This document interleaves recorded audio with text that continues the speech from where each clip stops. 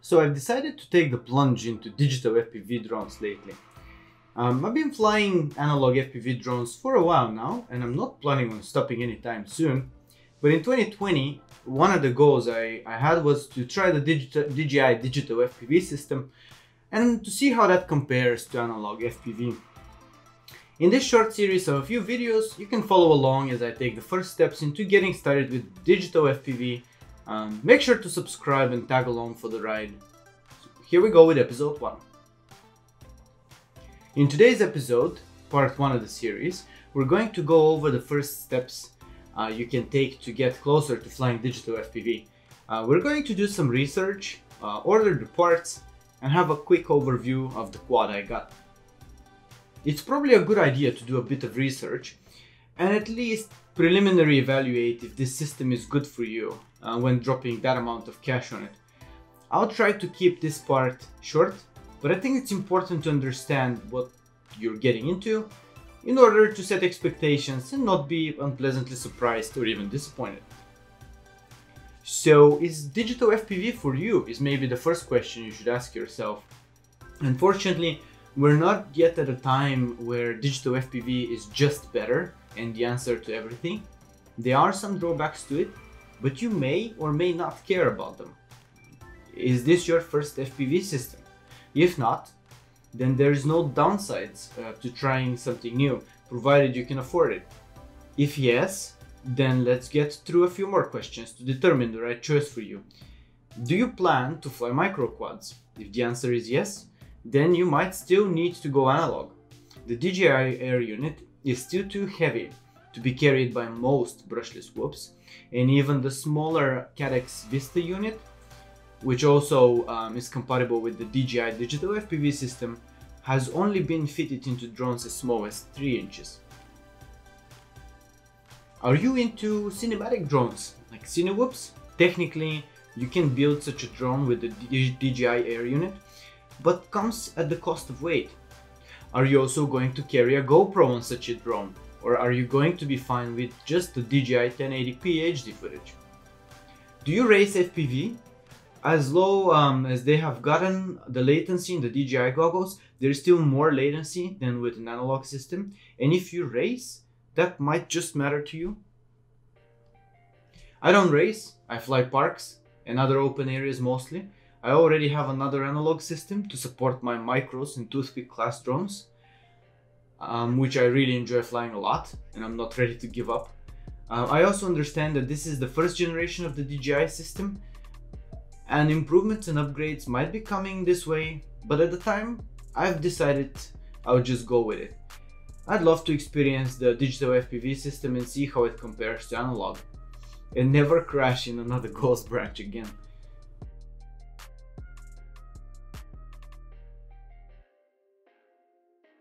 The second step would be to order the parts. There are many ways you can go about this. Um, use your preferred vendor you can grab the DJI digital FPV system in many places, including Amazon, Banggood, DJI site, Get FPV and others.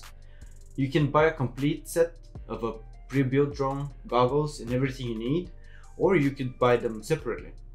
Check what's available before making your decision. Um, with the current situation worldwide, it could be that some of the shipments could probably be delayed um, in my case, I have opted in to get the uh, Holybro Kopis 2 HDV quad uh, without a DJI Air unit because um, it was the best option for me at the time to just get the air unit together with the goggles and the controller separate. Uh, there are many other viable options out there, including building your own drone from scratch. Nothing wrong with that approach. I've also built my own drones in the past, however this time I opted to get a ready quad. I also um, ordered the DJI digital FPV system with one air unit and with a transmitter remote controller. Be aware that you don't have to use the transmitter. You can still use, for example, your Taranis radio with an FrSky XM Plus receiver or similar, or Crossfire. It's up to you. In fact, I thought I'd be doing this without getting the DJI transmitter, but I got curious to try it out as well and it doesn't add that much more on top of the goggles and the air unit price. Mm, I'm looking forward to getting the system, setting it up, testing it. But until then, since it's not yet here, here's what's already arrived and we can take a look at today. And that's the Holybro Kopis 2.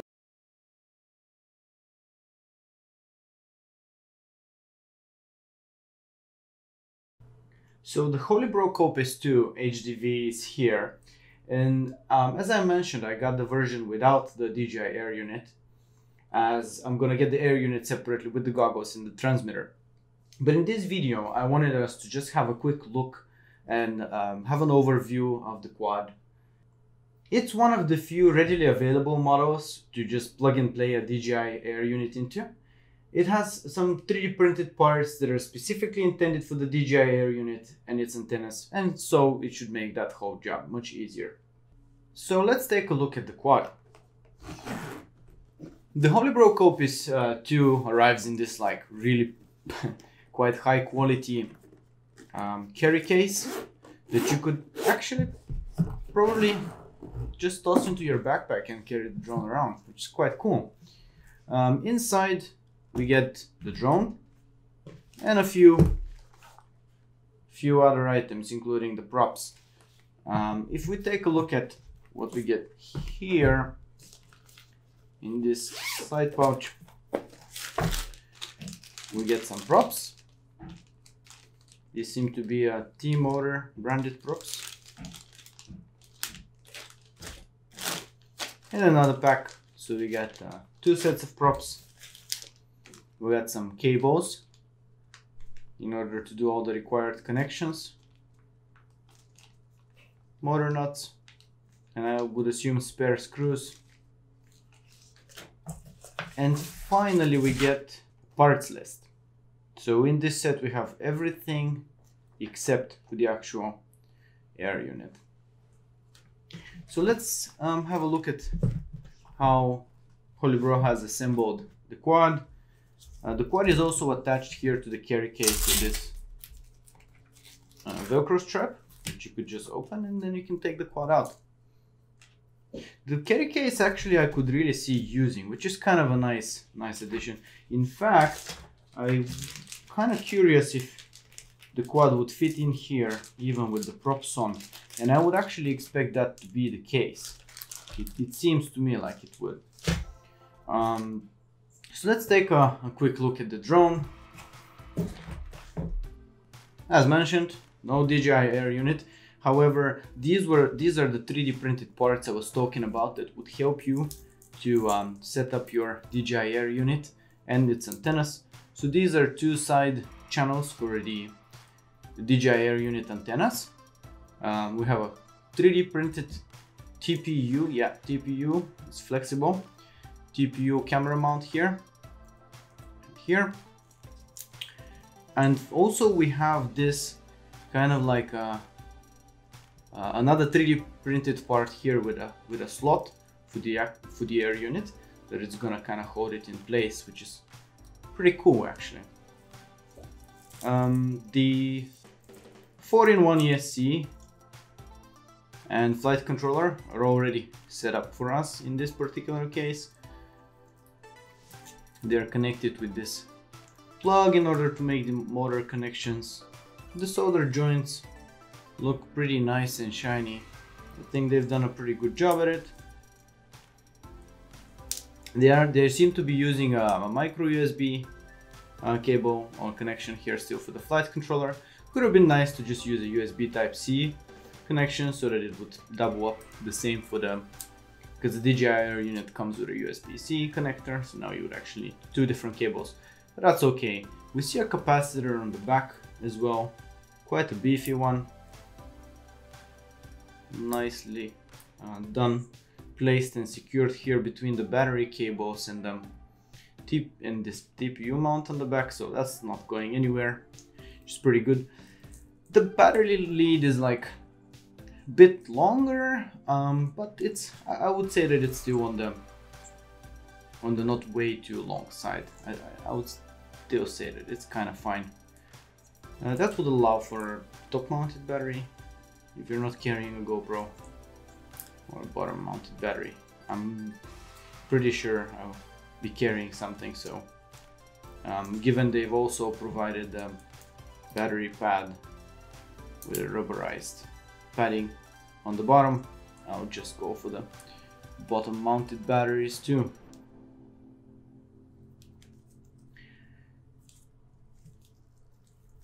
The frame is pretty pretty sturdy. There's like obviously no no flex to it like whatsoever. Um, you get four separate arms, so no unibody stuff here. Um, if you break an arm, you would probably be able to replace it just fine. The carbon quality looks good. The motors are the T motor um, F60 Pro 3 with a 7, 1750 kV. Um, I think they just came out with a with a Pro 4 version of these motors as well, but those will do just fine.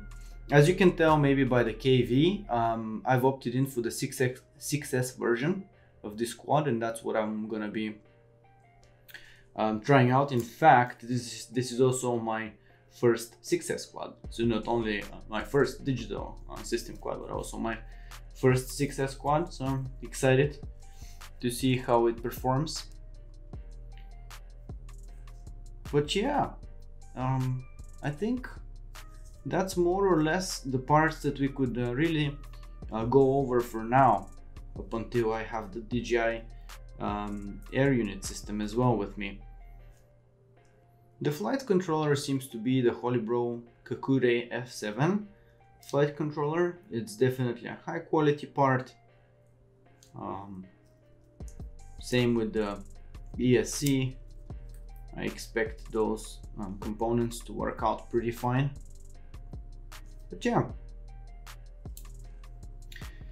So this guy is going to be waiting here nice and patiently for the DJI Air unit uh, system to finally arrive. And as soon as I get that in here, um, I would release my next video of the process where I think we're going to be going over how to set up the DJI Air unit, um, how to mount the air unit here into this quad, the camera, the um, antennas, how to set up the system, and how to go out flying. So Thank you for watching, stay safe out there, and subscribe for more FPV tips. Happy flying!